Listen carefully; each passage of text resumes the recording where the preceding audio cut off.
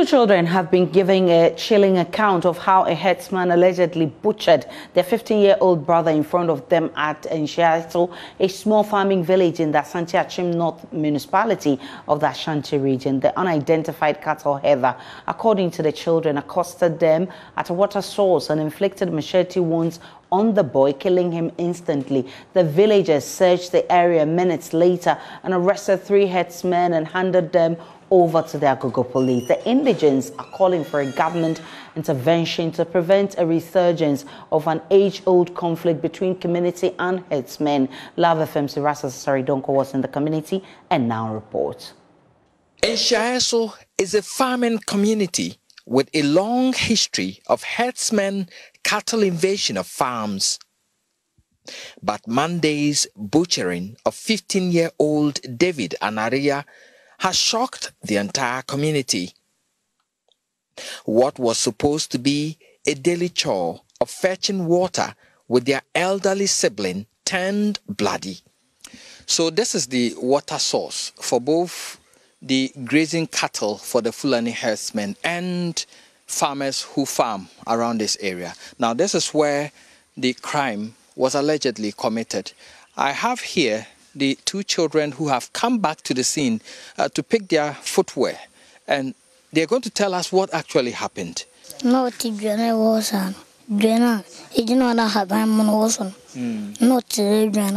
And he points to that tree over there. No, so you, on so seen, or in a second, would ɛna ɔka sɛ o abɔɔkyi adɛn abɔɔkyi bɔne bi a ma yɛ obi a o abɔɔkyi mpakyɛ so at the point where he was about to you know carry the gallon of water which is still lying here he said that the herdsman got up from his seat from there again and came back here. This time he drew uh, his machete and came towards him. At this point, his brother was begging him to forgive him if he has done anything wrong. Ɔkyi na ɔtwitwa na ɔmo pini bɔ ɔmo anim a ɔtwitwa na ɔtetɔɛ na ɔteateam sɛ nipa bɛgye no At this point, the herdsman was butchering the boy, and he says that he was shouting that people should come and rescue him.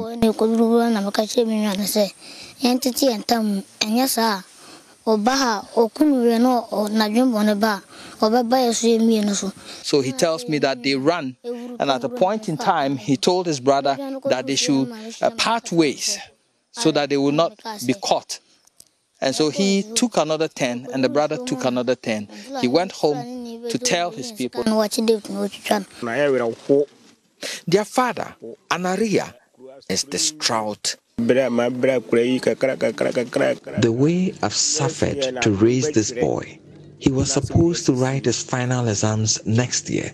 The law should deal with these Fulani people.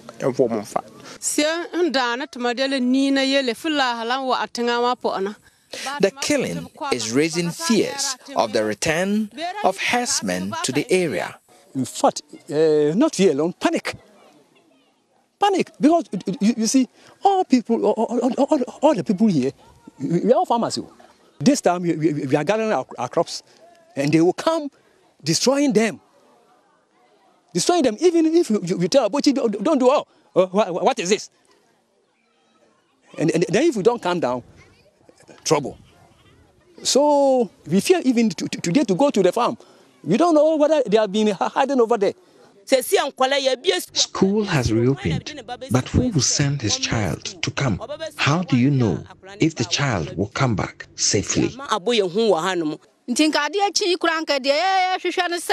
We were expecting the police and military to be here today to offer protection and to drive these people away so we can go back to our normal duties.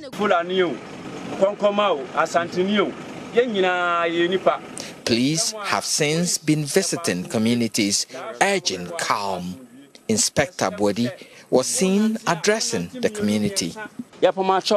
munyama police deɛ mowɔ biara mofiri sɛ ɛha mo biara no deɛ fulani ni biara yɛ mo biara deɛ kɔnkɔmani ayɛ obi bi yɛserɛ mo Please, we urge you to send your grievances to the police. Don't take the law into your own hands. Meanwhile, three suspects arrested in connection with the killing are receiving treatment at the Agogo Hospital after a near lynching incident. Reporting for Joy News, Erastus Asare Donkor, Enshaeso, Asante Akyem North, Ashanti region. Erastus Asare Donkor is our, our, correspondent in the Ashanti region. He joins me with more on this uh, story. Uh, Erastus, what has police preliminary investigations revealed?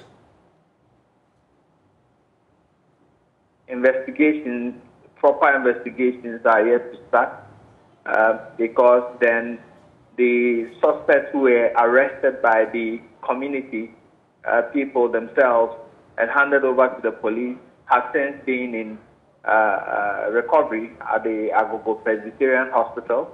And so uh, doctors say they are going to discharge them. Uh, that was hopefully yesterday. Police are saying that after their discharge is when they will interrogate them. Uh, it's possible also that there will be a parade uh, for the children who survived to be able to identify which one of them butchered the 15 year old boy. So, proper investigations, I, I was told, um, are about to start as they are discharged uh, from the hospital. How is the community uh, coping with this situation? I would say there is, there is total panic. Um, the people themselves um, are afraid that what they witnessed, uh, the invasion of Fulani herdsmen, as they call it, um, they think that it will come back. Uh, they fear that the killing that went on, the rapes and other things, will still come back. So uh, those who have have re- has reopened, uh, children are not in full swing in many of the schools we visited because they come from the villages through the farms and the bushes uh, to come to school, and parents are scared with this uh, incident that the children will not return safely, and so people are keeping their children at home. Farmers are not able to go to the farm. That is the uh, nature of the situation there.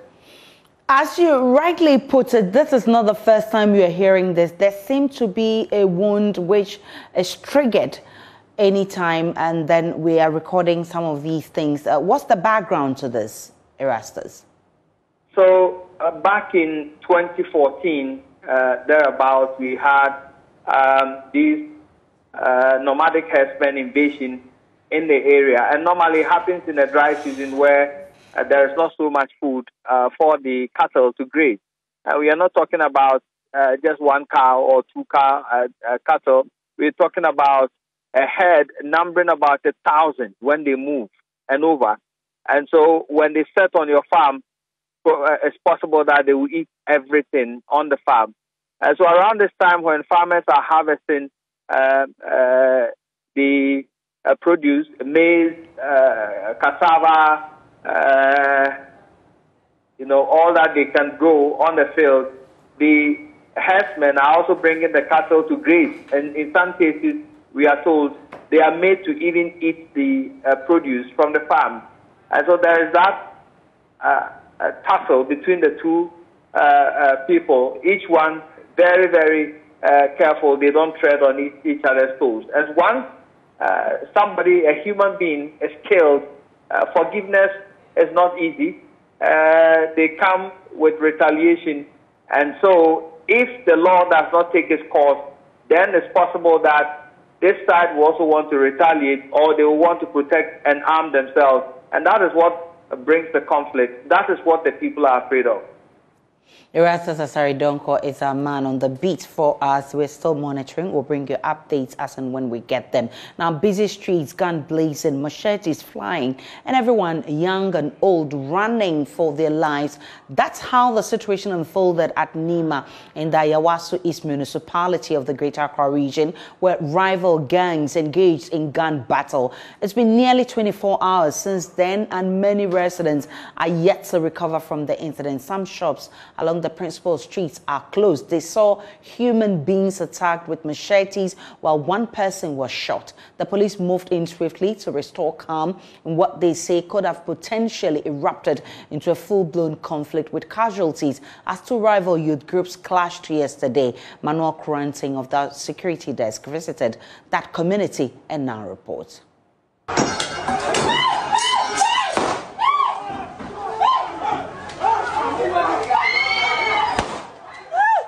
Those were the scenes on the streets of Nima, a suburb in Ayawaso East Municipality in Accra.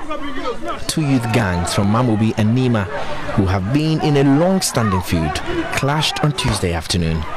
At least three people sustained gunshot and machete wounds. The reason why they, they always fight is about rivalry. You know, I mean, I, I think it's about self-acclaimed gang, self-acclaimed boss this one a rule over this, and this guy also want to rule over this. So anytime they clash, there is a small incident. Then you see the clan, the two clans start to fight. Yeah, I learned it started three days ago when the other guy came to change money, and the other guy, his rivalry came and asked him why is he in their territory, and that was the mess. Some people escaped only by the skin of their teeth.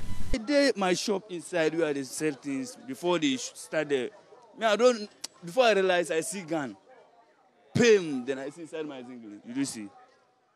Yeah, I don't get problem with anyone, but I just, I'm in my shop where I hear pim pim, pim pim. Before I, I see the gun where I dodge, where I go home. If, yeah. Came back to yeah.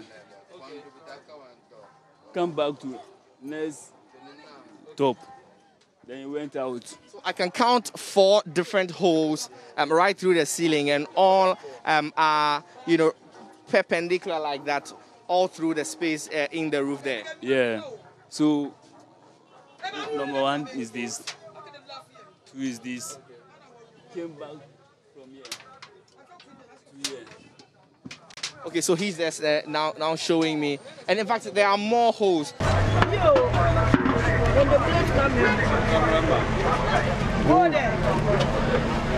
For now, almost everyone in the community is living in fear. Many shops are closed and several other vendors are absent. The few vendors who showed up are visibly spooked. The one who is shooting the gun safe, I did not see his face, but I did hear pa pa. Before I come out, I see plenty of people, but me, I know if you watch this one, this one, then I run go home. I, I run and go home. I want my life. It's not the money. I catch up with this coconut seller who won't speak to me. After several minutes of engaging him off record, he shares how he escaped the chaos.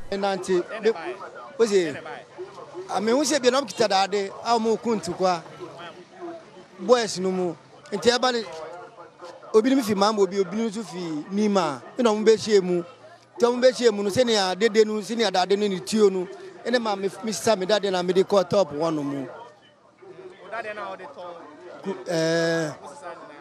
Ena me de ko sie o top one no mu. Nti omo di be tandem. Omo eh omo di best 3 hours kra wa no mu. Eh omo shi ase no omo di best 3 3 3 hours ase no omo free For many, it is time for the police to nip the menace of gang clashes in the bud to forestall like a future the recurrence. The law sometimes the law no they work. Sometimes too, they, they do say the law in need work. Because ask me why. Why, sir? The, the way I, I, I say you should ask me why. Because something is going on inside the area. You see human being, fellow human being, where it's not a police or soldier. It's, he, he say he is using gun. For what? Because we this thing where is happy, we need to understand for that thing. Because we with the area here, we know say our president he dey Nima police station. Where if something happen inside the youth, we suppose that boys where they, dey do all that thing, they supposed to catch am. We see say woman be feel kill somebody, they run go. They son come back, they say they leave am. Why? More than 24 hours after the incident, it's many police boots on ground. The goal to hunt down and prosecute the remaining gang members to prevent another clash. Manuel Koranteng, Joy News, Accra.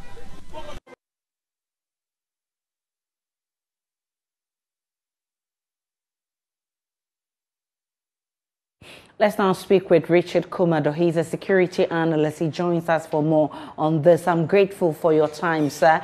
Um, this is daylight gunshot um, machete wounds inflicting uh, machete wound infliction on people uh, in one of Ghana's oldest slums. What is your uh, reading of the situation? Emosov is a blood tonic. You can find it three months time. You find that a feedback from Dr. Thomas. Hello, Mr. Kumadoe. I'm getting a feedback from Dr. Thomas, but having heard a question, I think uh, Nima Mamobi and uh, that particular area has been considered as high intensity crime area, and we can only commend the police for their swift action. Considering the nature of this particular violence and the nature of the arms they are using, a delayed attempt by the police would have been regrettable. So going forward, the police will just need to lay down and ensure that intelligence gathering into the activities of these particular groups are well watched over. That is the only way they can nail them in the bud.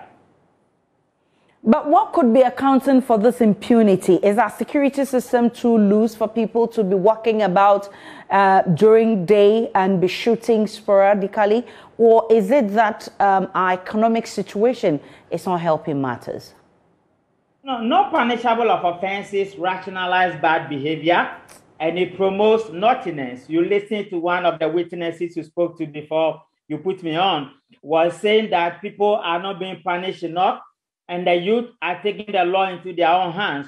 It would be a test case for the police, particularly the nature of this particular one, to be able to crack the whip. And once we are not investigating conclusively and we are not punishing people for breaching the law, others rationalize that particular behavior and they will want to release mayhem onto other people. It's regrettable, but not in the city of Accra, closer to where the president lives. I think the police must act quickly as they have done. And going forward, they will need to engage the community leaders and ensure that they water down the grants so that these kind of activities will not be happening in our country. I'm happy that you talk about unresolved crimes because we've seen a number of them that have gone on without any closure to those matters. Definitely, this is not the first time we're seeing this. We've seen uh, this kind of impunity across the country. In, in some instances, it's the police themselves who are attacked. I mean, how do you recommend that we go, uh, we, we move from here going forward, especially bringing closure to matters that has to do with perpetrators in similar incidents? I think it's a on what Dampare has done so far. He would just need to send it a little bit high.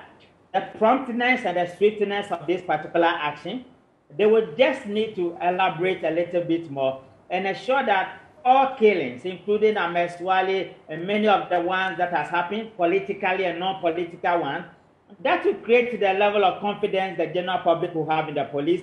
And the general public as key stakeholders to the work of law enforcement. It will really go a long way once they begin to trust the police and they are willing to volunteer information to the police. But I think the police have a responsibility to ensure that crime prevention become number one priority on agenda. And with national resources at their disposal, we will urge them to do more. And where they did well, we will commend them just like they have done today, and we are commending them going forward. Definitely, the police has shown some renewed energy with the coming in of uh, uh, IGP Dampare, but definitely it doesn't erase the fact that people have lost a lot of confidence uh, in the police. How can the police um, uh, restore that confidence, and knowing very well that the police need the public to be able to do their work? Security is a leadership issue and it's a leadership too. I think they must provide leadership. They must be more proactive. They have to be circumspect and taking the bull by the horn, addressing issues that borders on public safety and national security for national sovereignty. It will go a long way to boost the morale of the young people. Then the community will also begin to trust the police, particularly more who are at the forefront of law enforcement in this country. One of the things they must also do is to collaborate more with other security agencies, particularly the BNI, where they will have the intelligence they need when it comes to crime prevention, so they could deploy the right people to the right places at the right time, doing the right thing, In that way, the police will have an edge when it comes to the general public and law enforcement and when it comes to public safety and total security in this country. One of the things criminals look out for, once the police become uh, invasive and they have become defensive, then the criminals begin to dominate the general public or the public space. But once they see the police becoming offensive and the police becoming tactical, acting with intelligence, then you will see the police will be winning the war. I'm only urging on the police to do what is right and to take the bull by the horn. And when people breach the law, let them be dealt with as quickly as possible. And that will go a long way to build the confidence and the integrity issues they have suffered over the years. Richard Kumadoe, I'm grateful for your time. He's a security analyst and he's been giving some ideas as to how police can handle this kind of impunity in the community. Let's jump on to COVID because it's been nearly two years since the outbreak of COVID-19. From Chinese central city Wuhan, the virus has spread to all parts of the world with Ghana recording its first case in March to, uh, 2020. So far, 154,000 people have been infected in Ghana with a death toll of 1,350. It has had devastating impact on the economy with budgets put under extreme strain. There have been four waves during this period with the latest now flattening. So what is the future of this pandemic? Will it end at some time? Remember, there have been deadlier pandemics which came to an end. Talk about the smallpox pandemic, which killed more than 300 million, measles, which killed 200 million, Spanish flu, with 100 million deaths, Black Death, which killed 75 million, plague of Justinian, HIV AIDS, the third pandemic, typhoid, cholera, and Hong Kong flu. COVID 19 has so far killed 5.5 million people around the world, far less than the others have done. So, how do we approach this pandemic to restore some order in our economy, society, and the world at large. Today, we've put together experts to help us look ahead of COVID-free future for the country. My guest for this conversation, Dr. Michael Owusu, is virologist at the Kumasi Center for Collaborative Research, KCCR, and a lecturer at the KNUST. Dr. Thomas Anaba is Executive Director at the Africa Center for Health Policy Research and Analysis. He is also joined us. And Dr. Kwame Amponsah who is Manager, Expanded Program on Immunization at the Ghana Health Service. I'm grateful for your time, gentlemen. I'll start with our current situation as a country. Dr. Chiano, where are we now? All right, so uh, I'm told Dr. Chano is not in yet, but definitely Dr. Michael Owusu has been working in the labs. He knows what's going on. Where are we now, uh, Dr. Michael Owusu? Good afternoon to um, Aisha and good afternoon to um, all the viewers. So, talking about where we are now, uh, you know we have been through uh, what we call the fourth wave, and currently, if you have looked at the numbers we seem to have passed, passed our peak points, and we are beginning to record a reduction in the number of new cases and consequently a reduction in the number of active case counts. Um, across the regions, in Ashanti region currently, the number of new cases that we record almost every day has reduced. Uh, currently, we are doing something around 20 to 30 per 100 tests from the community. And that's at this morning is, is, is going is going um, very very um, low. Among travelers, for instance, the rate is about one to five percent. Uh, I mean, for all the travelers that come to our um, our, our, facility. So, um, as we speak now, the numbers looks good, and it looks as if uh, we are getting through this. Uh, I mean, um, through this wave, and things may normalize, and the, the numbers will eventually get to zero, uh, and things things will be fine from what we see about the trend of the virus. Well, um, some few weeks ago, we were here lamenting over the upsurge of Omicron uh, infections. Um, has it reduced, or we still have the Omicron dominating infections? Well, in terms of, I mean, the, the variants, of course, for, for all positive cases that, that we are seeing, about 90% of, of these positives are due to Omicron. Uh, and that is what is known. But as as we know about the virus, I mean, if it runs through the population, it reaches a saturation point uh, where many people become immune, many more already infected. And when it reaches that point, it, it, it doesn't go up again, and the number of infections and rate of infection automatically begin to reduce. So yes, it is still Omicron, but then because it has reached its peak point uh, and almost the virus, we say, satisfied with what it's supposed to do, uh, we, we, are, we are fine. From now going, we wouldn't see surges like we used to see. So what we have to be looking out for is perhaps another variant. So if a new variant comes in that is much stronger than Omicron, then we restart the cycle again. But for now, it's still Omicron, but then it, it has reached a point where it cannot cause active infections like we used to we used to see at some uh, couple of. Uh, already, we're hearing of a new variant in France, uh, the IHU or IHU variant. Um, how deadly is this variant, and it, uh, whether it's not even here already? Yes, um, I mean I've looked at this variant. It also has quite a number of mutations, uh, a bit similar to Omicron, but then this is a variant under monitoring it hasn't yet assumed the status of a variant of concern. And you know that variant of concern have about five classifications. One of them is that it must have high level of transmissibility, and two is that it should be able to cause severe disease and death. Um, it should be able to affect um, the current therapies which are in place. It should have impact on the preventive measures in terms of the non-pharmacological interventions. And it should be able to affect the diagnostic capacity, I mean, in terms of ability to detect them in the lab.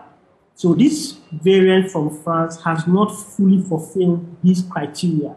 And therefore, WHO has not come out to declare that one as a variant of concern. So now it is a threat, but it doesn't look like it will have the capacity like we have seen for Omicron, for Delta, for Alpha, and then for Beta.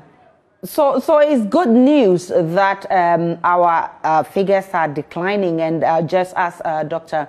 Michael Owusu rightly said, um, we, we, we, it looks like we've overcome the fourth wave. Dr. Anaba, what could be accounting for the success once again? Thomas, uh, Dr. Thomas Anaba, are you on? Kindly unmute for me, Dr. Anaba.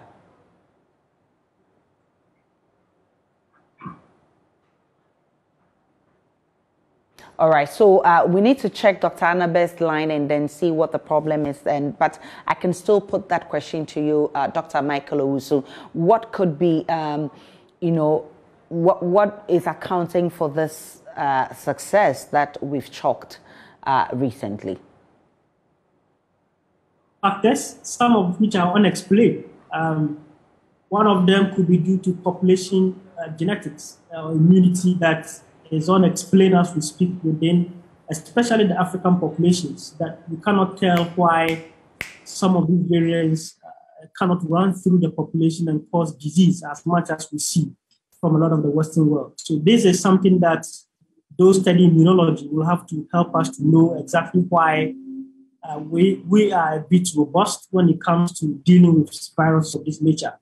The other thing could be some level of vaccination might have helped to reduce the impact of, of these variants, although we still have not reached the target, but then it's still substantial enough.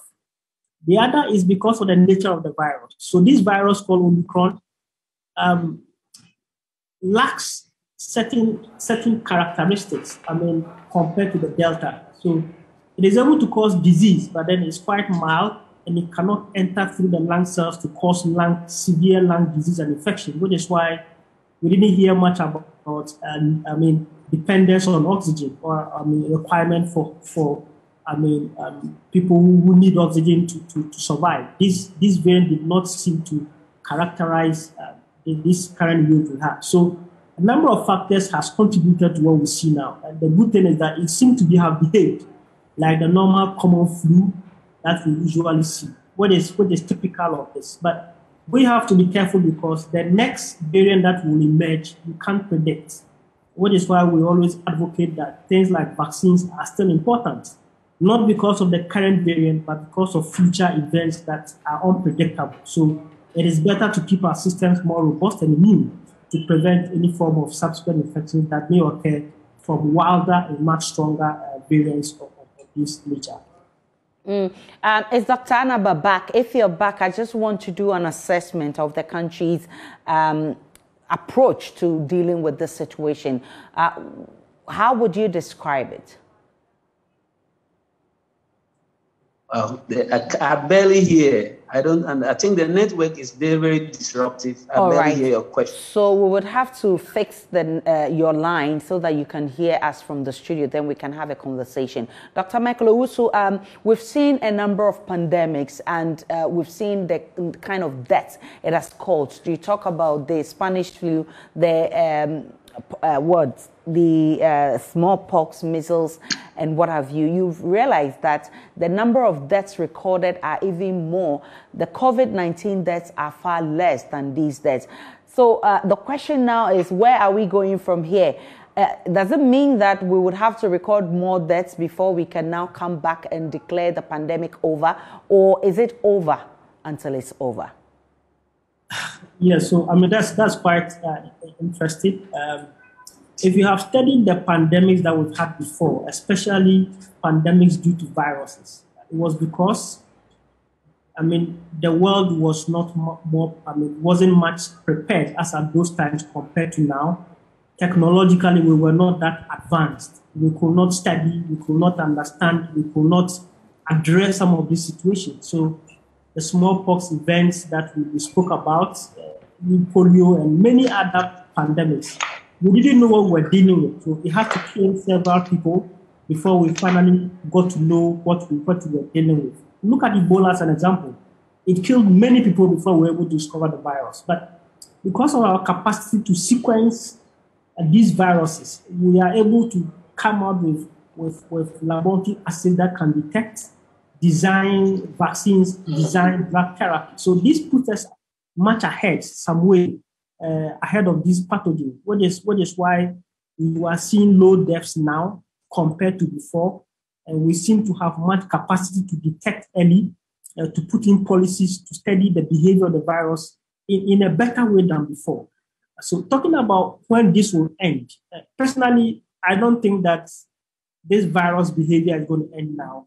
But perhaps we will not we will not talk about pandemics, but we will be talking about seasonal uh, infections, which it's due to respiratory organisms, like we see in many countries. So we get to a point where, I mean, if almost every every season, especially during the cold and harmattan season, if you have flu and you cough, 10% of that could be due to SARS-CoV-2, and the rest could be due to other viruses. So, so that this may not necessarily cause death, but you may have mild illness and some flu cold. So, and I'm quite confident this will go alongside with the, with the vaccine coverage. So, if many countries are able to cover the vaccines and we have huge populations vaccinated, then naturally we are going to be more immune and therefore weaken the effect and the impact of the virus. This is what the world is preparing towards. Uh, until you have full coverage, it will be difficult to say the pandemic is over.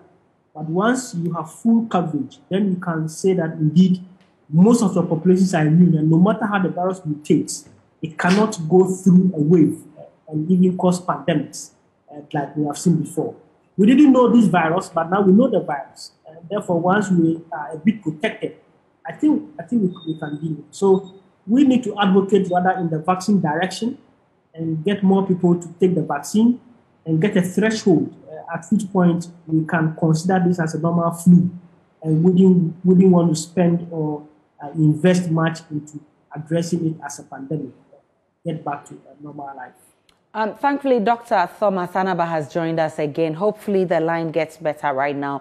Uh, Dr. Anaba, I'm asking us to do an assessment. First, let's start with our vaccination drive as a country and just suppose it with other African countries. How are we faring? I think we are doing well. We are not bad at all. We have a lot of vaccines uh, more than many other African countries, uh, thanks to the benevolence of all those who love us and are donating to us. And I think the government is also pushing hard to get uh, the public uh, vaccinated, to get everybody vaccinated.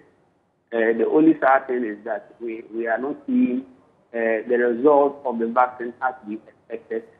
and then people are still contracting the COVID-19, despite the fact they are having full dose and, and booster doses, booster doses upon booster doses getting the infection. That is not to say that the vaccine is not is not that good, but it has not met the expectation of many, including myself. That I we thought that getting the vaccine, no one again will be contracting the virus, but it turned out not to be so. As we speak, we don't have a clear, direct indication of how frequent everybody should be vaccinated not to get it. Is it going to be a seasonal vaccination or is it going to be uh, one-time uh, uh, uh, shot of doses and after that uh, you'll be taking boosters once in a while? As of now, we don't know. But for Ghana, let me say, we are not doing that at all when it comes to the vaccination of our population. Now, um, aside our vaccination drive, of course, we had um, um, a, a, target of 20 million Ghanaians who we wanted to vaccinate. Uh, how would you say uh, we've performed with this target? Are we anywhere close to the 20 million? It, and we hope that we'll get close. I think that education needs to go, we need to educate people more but I think people have the hesitance to read because of the issues that arise from the vaccination. So many, so much of literature abounds in the system uh, to convince people that the vaccine is not working. So much literature abounds in the, in the system that shows that people are getting side effects uh, from the vaccine. But uh, in general, uh, what WHO can say and we can say is that it has tried its best to minimize the severity of the presentation of, uh, of, the, of the vaccine. Dr. Anaba. Hello? Yes, you're still on, uh, on, on the pulse. Yeah, so I'm saying that we, we, we, we have to get people convinced better, get, get education deep into the public to understand the importance uh, of the vaccine. Once majority of us vaccinate and we get a herd immunity and we get a critical number of vaccines, vaccinated, then it's better. But I think that we should emphasize much on those who have comorbidities because literature shows that they are the ones who are really suffering when they get the COVID-19. We have to get those people convinced to do away with the perceptions they have, despite the negative uh, news that we receive about the vaccine. And some of them are true, uh, but we still have to convince people enough. What, what some of us do not, do not want to push to is to uh, force people mandatorily to, to take the vaccine because we think that everybody has this right uh, to either take the vaccine or not, and uh, everybody reads the literature. And then uh, once you take it, you can still get it, and once you don't take it, you can still get it. It doesn't make a difference. So uh, I think that we should rather persuade people to take the vaccine uh, so that it will be faster than putting a blank law to force people to take the vaccine. Now, there's been a number of interventions, like, uh, uh, you know, abiding by the protocols, the vaccination drive. I mean, the last few months has been very uh, active. Uh, we've been very positive with it. And just like you indicated, we've made a lot of headway with that. But the question remains, will we ever see an end to this pandemic? Will we? Are we going to ever see an end to this pandemic? Oh, this pandemic to be, to be frank, the way the virus is mutating every day and night, every now and then a new variant has come, every now and then a new variant has come. No one at this moment to think that to exit this crisis. We may have an improved situation uh, because of several factors enumerated by the previous uh, uh, person you interviewed. And I think that is one of the things that will help us reduce the, the, the consequences of the, of the current uh, pandemic. Uh, science has evolved so fast. We now know treatment for it. Hospitals have been properly resourced, especially in the developed countries. People are taking tests every now and then to see whether they have it. All these things is what is going to help minimize it.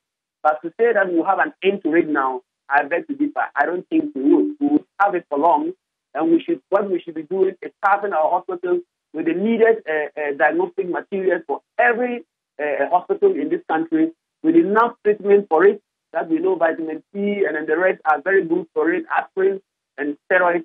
We get them stuck in our in our facilities to make sure that every hospital can be able to test anybody for COVID-19 and treat them as and when they are positive. And uh, we should have guidelines on how people should be treated at home and all that uh, for COVID-19. But to, to, say that we'll be out of the woods uh, now is not possible because, uh, just as you said, there is a new variant which is uh, uh, not yet of concern, but we have to watch it very carefully. We don't know what it will do. And we don't know whether after that variant another one will come or, or not.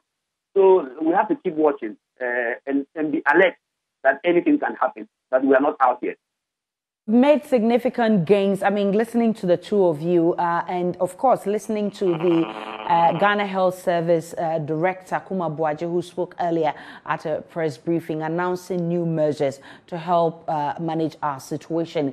But if we have to live with this, uh, because right now nobody knows when this will end. What should we be doing as individuals? What should we be doing at the government level? Dr. Michael Owusu.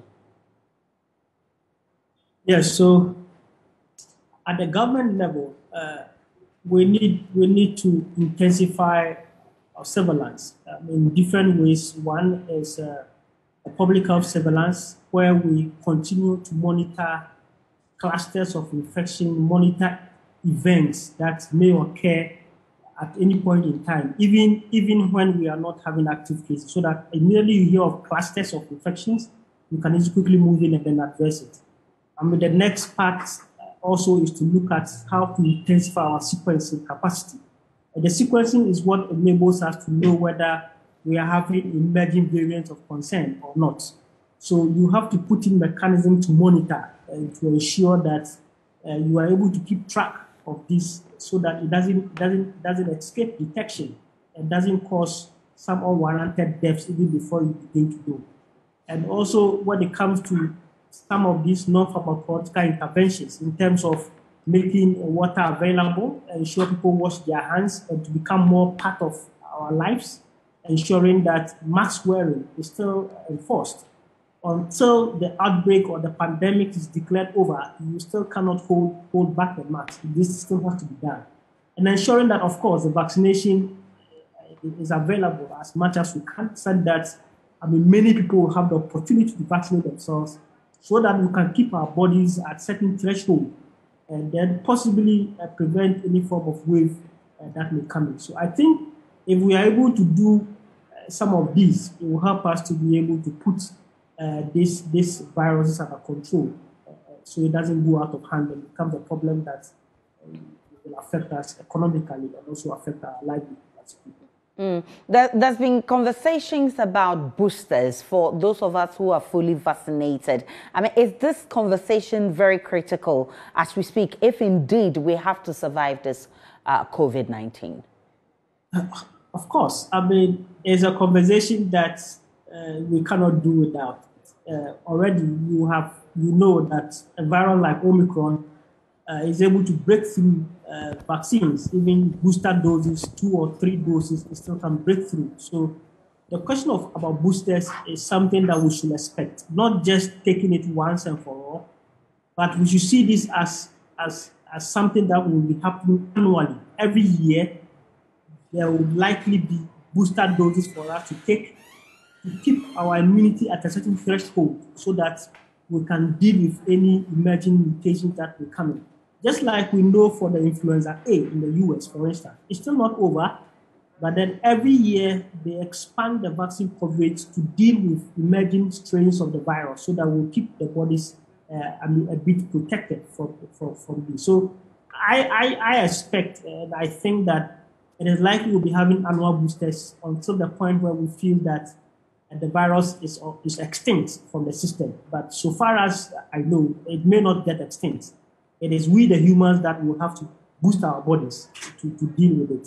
So we should expect this at least every year. We should begin to discuss this and to see how best we can implement this fully uh, mm. uh, for, the entire country. What happened to natural immunity? I mean, are we far from that? Well, you know that natural immunity is it works, but it has some level of duration. I mean, we know if you are infected uh, and you have natural immunity, at least from three to six months, the immune level begins to wane down. So it's not long lasting. And because it's not long lasting, you cannot depend on it, which is why people can be reinfected even if they don't take a vaccine.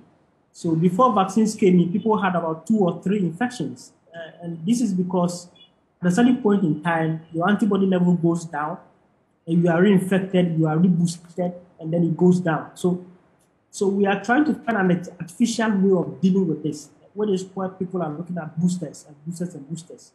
So natural immunity can help, but then because it's not long lasting, you cannot depend on it to protect the population for a long period of time, unless you look at vaccines as an alternative means of having what we call an artificial immunity, where there's some way somehow better than natural uh, immunity. Mm.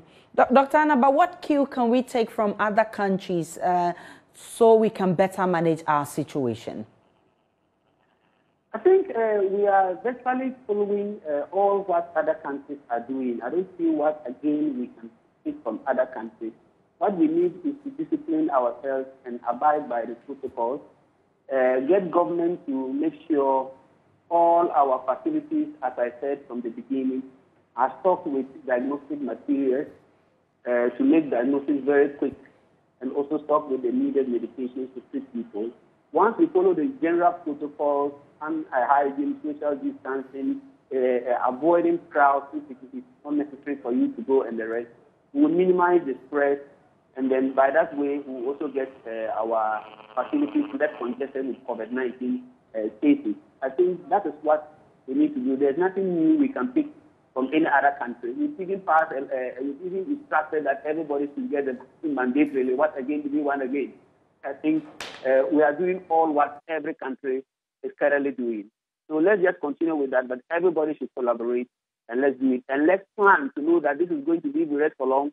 So all what our measures we are going to put in place, all our plans we have for future, we always factor in COVID-19 uh, uh, as, as one of the, the problems we are going to be resolving until we get a final solution to it. Hopefully there will be any. I'm grateful for your time, gentlemen. Dr. Thomas Anaba is Executive Director, ACHPRA, and uh, uh, Dr. Michael Owusu. He is a virologist with KCCR and a lecturer at KNUST. I'm extremely grateful that we were able to make it. Now, I'll take a break on the pulse. Remember, you can also join via all our social media handles. It's on Joy News on TV. You can tweet at us with the hashtag The Pulse. We'll be back with more.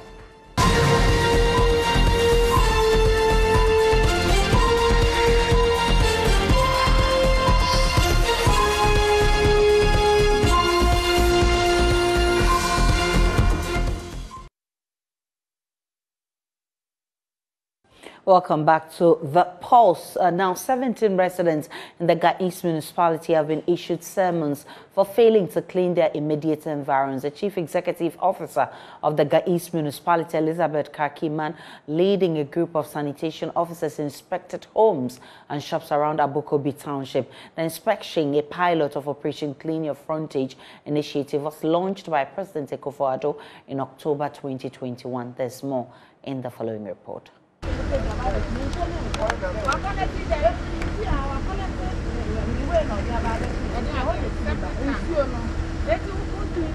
Inspection started at the Abokobi Township where the chief executive of the Ga East Municipality, Elizabeth Karkiman, and a team of environmental health inspectors checked the immediate environs of some shops in the Abokobi township. Addressing the media after the exercise, the municipal chief executive of the area warned that all offenders will be punished. We, as an assembly, we are also launching it in the municipality just to create the awareness and education for the community uh, so that they will be wary of their actions concerning sanitation. Uh-huh. So we are here today. We launched it at the municipality level, and we are doing the piloting. Uh-huh. And then we have our summons here. People who are defaulters are being served to come to the assembly report, and then the subsequent actions will be taken. The punishment, some is uh, either you'll be fined, and then others you'll be jailed, or both.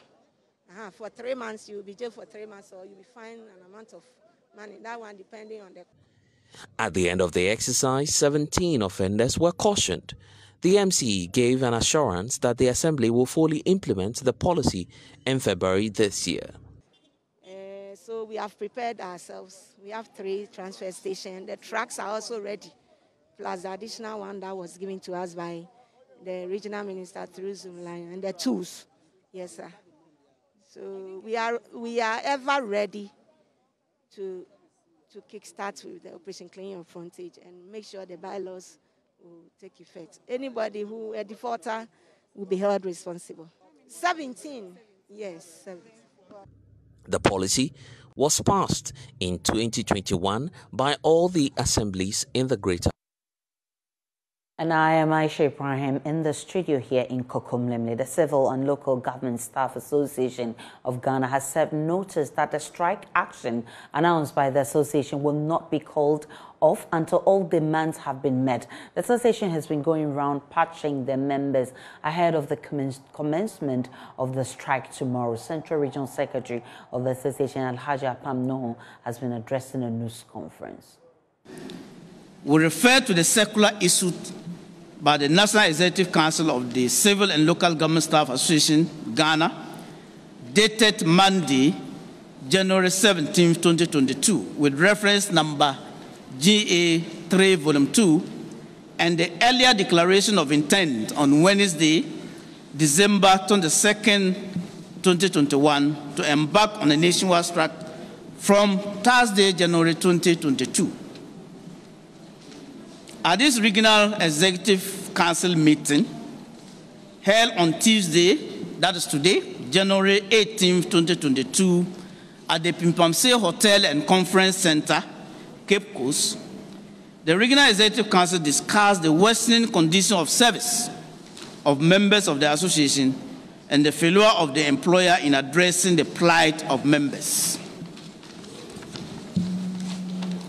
The Central Regional Chapter of the association, made up of all the 22 metropolitan, municipal, and district assemblies, and the focal persons from the departments and the regional coordinating council cannot be strike breakers and do hereby on, on this Tuesday, January 18, 2022, unanimously endorse and validate the decision of the National Executive Council, NEC, of the association to do hereby declare our absolute and unbendable willingness to embark on the nationwide strike action beginning Thursday, 20th January 2022.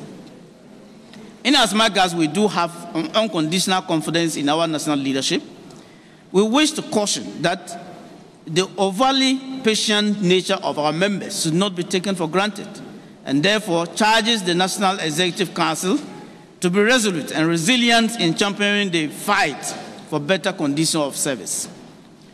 The Regional Executive Council further resolves that the strike action, when commenced, shall not be called off until the demands have been met. Members are urged to be steadfast and not to kowtow to any form of persuasion or threat from anyone or authority to report to work. Long live Ghana, long live worker solidarity, long live CLOGSAG. Joe boy! Joe boy! We just say that yes, we know you are on transfer, but let's think there's nothing we can do than to make sure that we have to do some acting, you know, council members. We don't know what will happen. And they will put it on the various platforms. They will grab it and then the participation will put something together, uh, we are all welcome.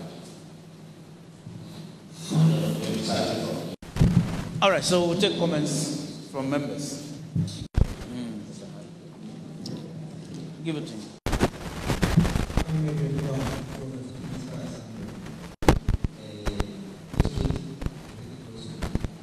That, that one is a, is, is, is a straightforward. You monitor your departments, but the regional is at one place. They are not decentralized. So we expect you to move to where. All right, so.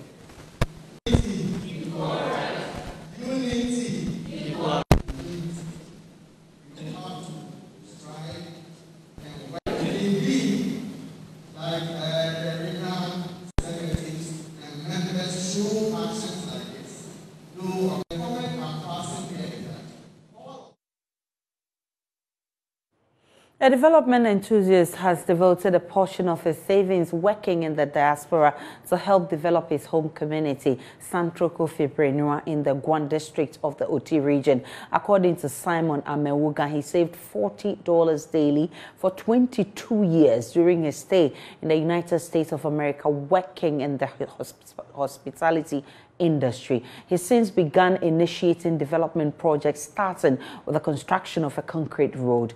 There's more in this report. Central Brenua is the community that welcomes you to the Oti region driving through Hohoe. Indigenous of this underdeveloped community are mostly peasant farmers.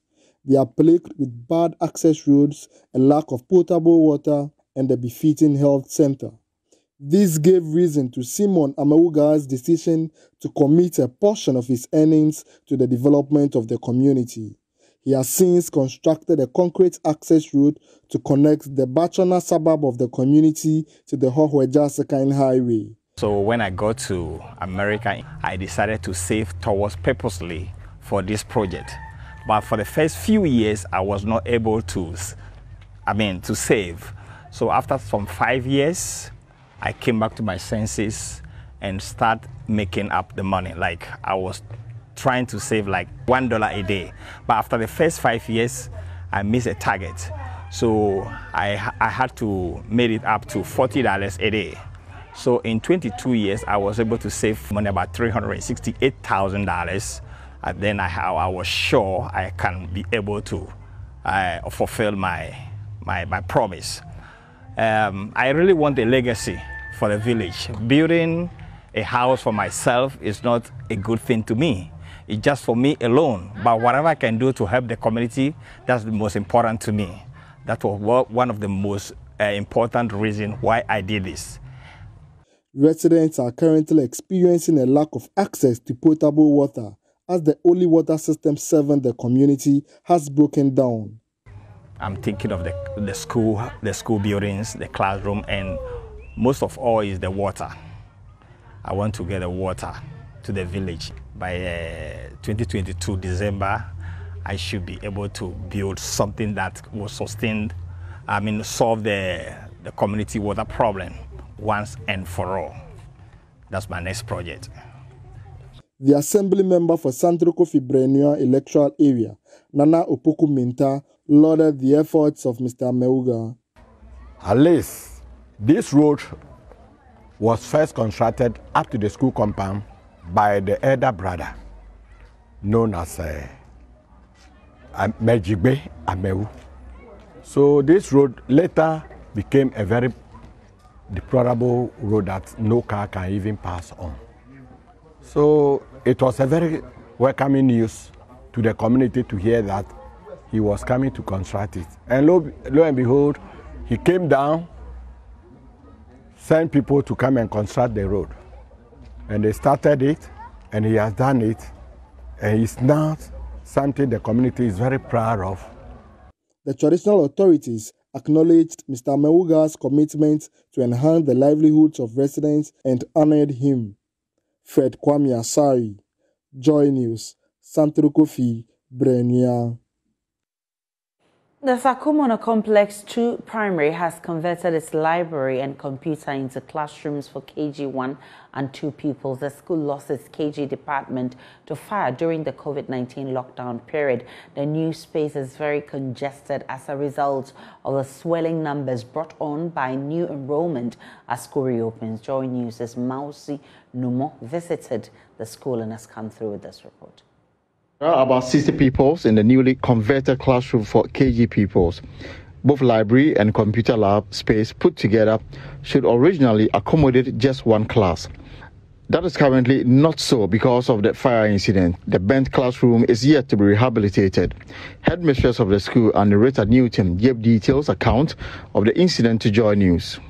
It's supposed to be our KG, our KG1 and KG2 building.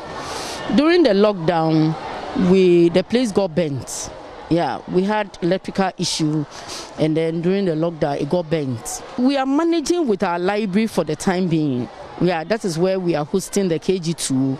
And then our ICT labs, we are using it for the KG1. So that is where we are. Only that the place is congested. She's therefore appealing to government and corporate organizations to come to their aid. Though the municipal, they promise that as soon as possible, they will come and then renovate the whole place for us. We are just hoping anybody out there that can also come to our aid will be happy. As the new academic year begins, parents are anxious of securing admission for their children. But that is not certain yet, particularly for these enrolling in schools for the first times. School authority, however, say they are expecting more approaches for possible enrollment. Meanwhile, Deputy Education Minister John Ntim Fordjour, who was at the school to welcome the newly enrolled pupils, urged parents to take advantage of the right of enrollment and free education to put their children in school. We are encouraging all stakeholders, particularly parents, to encourage their children. No child must be left behind. We want to ensure that in, as part of efforts to attain the tenets of Sustainable Development Goal 4, we, we have quality and equitable access to quality education for all. And every child, regardless of their disability, regardless of their socioeconomic background, must all have access to quality education. So today we welcome here at Sakumono Complex 1 and 2 and to all the kids that are reporting to school in all the 16 regions of this country, we welcome you and we assure you that a bright and solid education system awaits you and that as you progress through, you will be the future leaders You'll be the future teachers, future lawyers, the future men and women who are going to contribute strongly and significantly to nation building. The future of this country lies in the hands of the ones that we're welcoming to school today. We, on our part, as government, as Ministry of Education, will do all that we can to ensure that we attain some of the highest standards the world has seen in education, to ensure that we resort to education as a, a, credible strategy for rapid social economic transformation. Greater Accra Regional Director of Education Monica Ankra also encouraged teachers to discharge their duties in spite of challenges saddling their efforts. To give up their best. In fact, they have to give back to society what society has done for them to nurture, help, and assist and appreciate whatever government is doing. The children are our own they also have their children in school, so they have to work hard to make sure that they give them the best education that they could so that they become responsible citizens in the near future. Yeah, Rome was not built in one day, so definitely there will be challenges. But despite the numerous challenges, they should give up and then continue to nurture those young ones so that the good Lord will bless them all. Maosi Numos report for Joy News.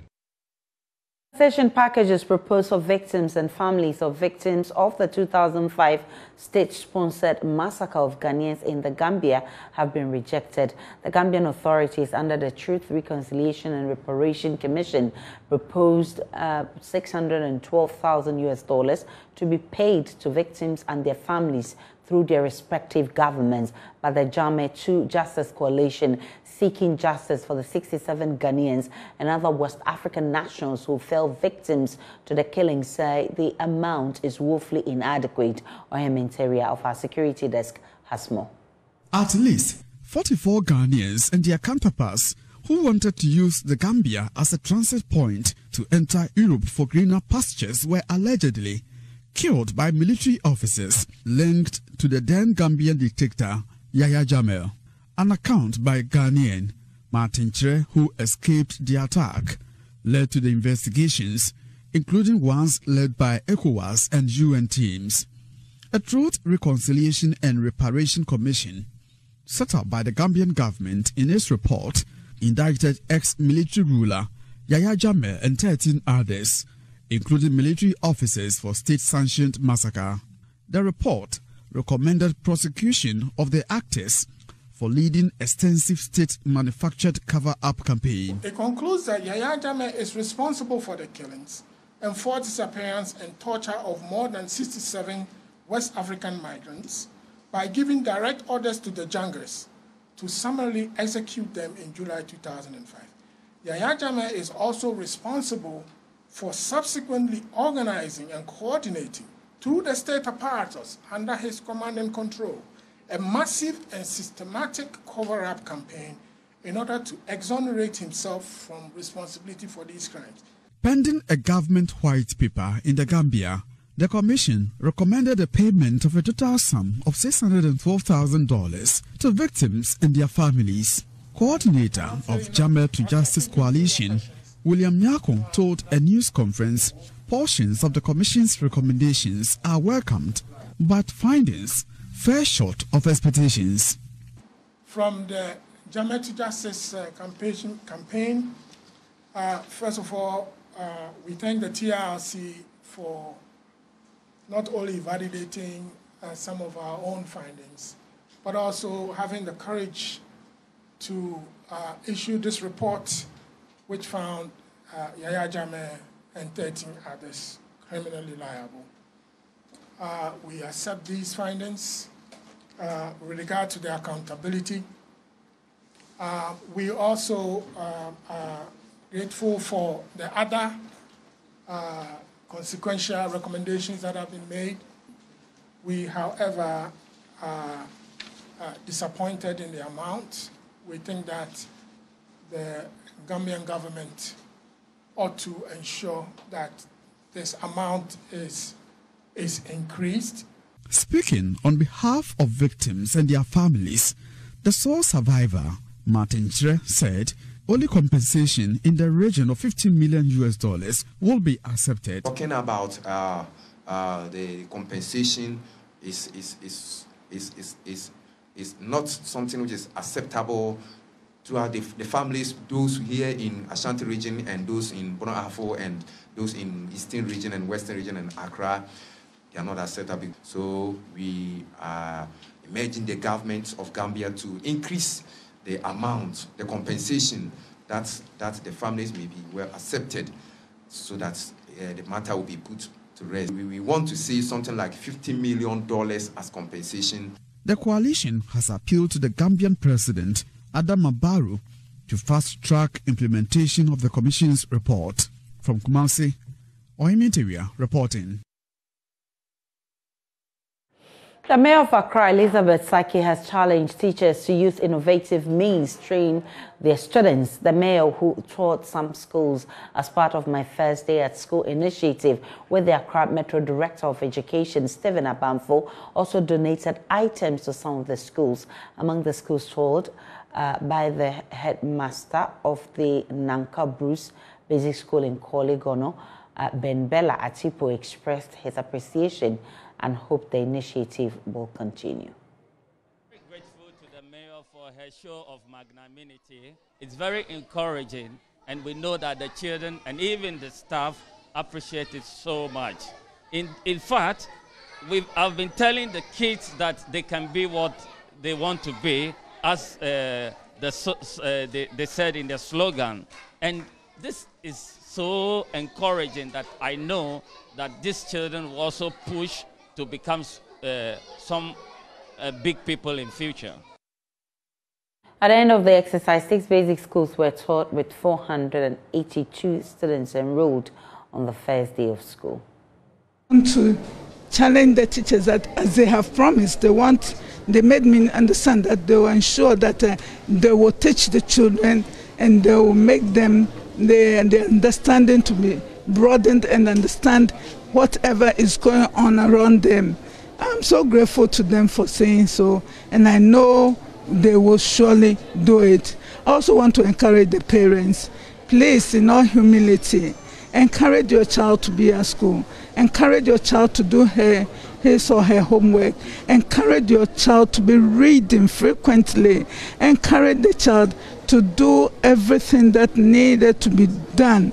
In that, at the end of it, it will benefit her, and that will give her that, make her more courageous, so that all aspects of life, when he stands for any competition, she can go forth and succeed.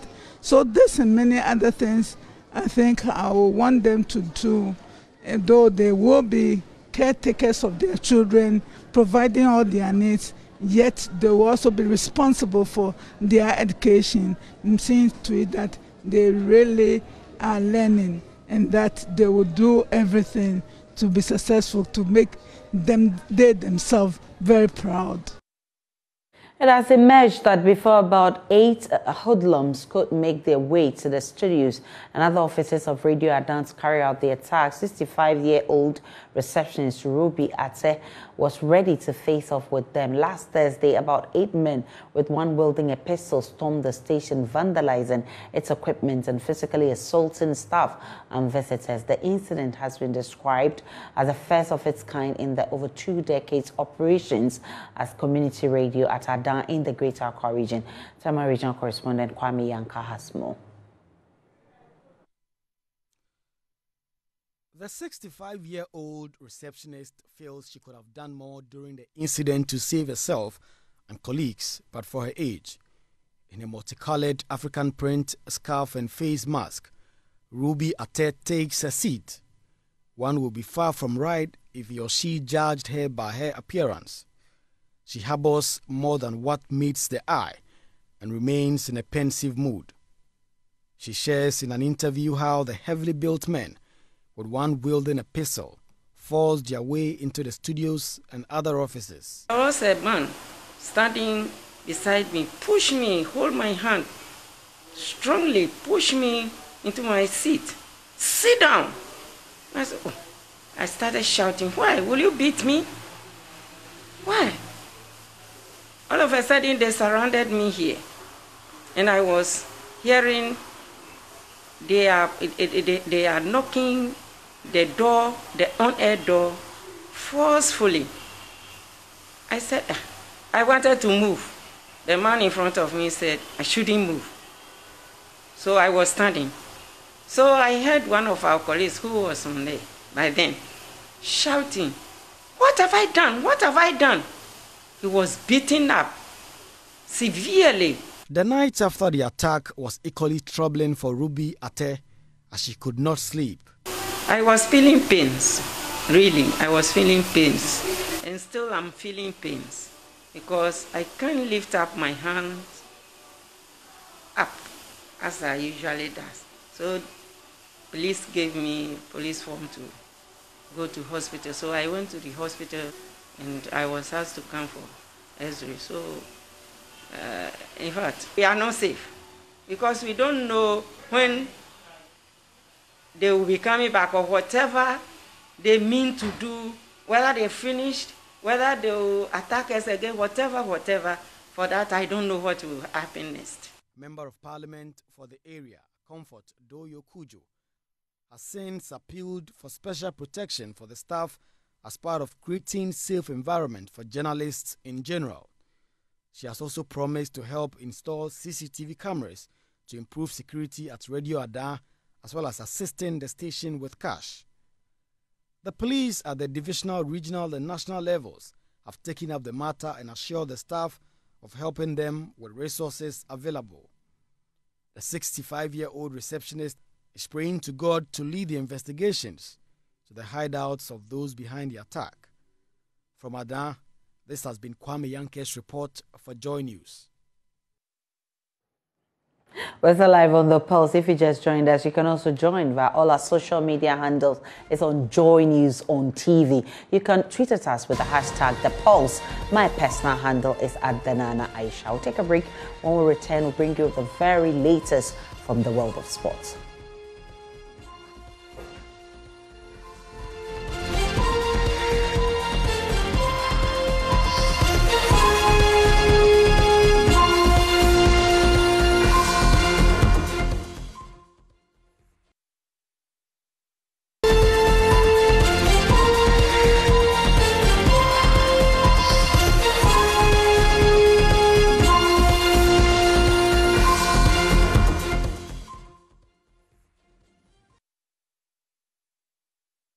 And how we wrap up the pulse this afternoon. Many thanks for watching. I've indeed enjoyed my almost two hours stay with you. Up next is Let's Talk Showbiz. But also remember, we'll be crossing over to the Finance Ministry because the Minister of Finance, Ken Ofori-Atta, will be addressing the press uh, this afternoon. We'll be crossing over as and when we get that uh, feed. But right now, do enjoy the rest of our program.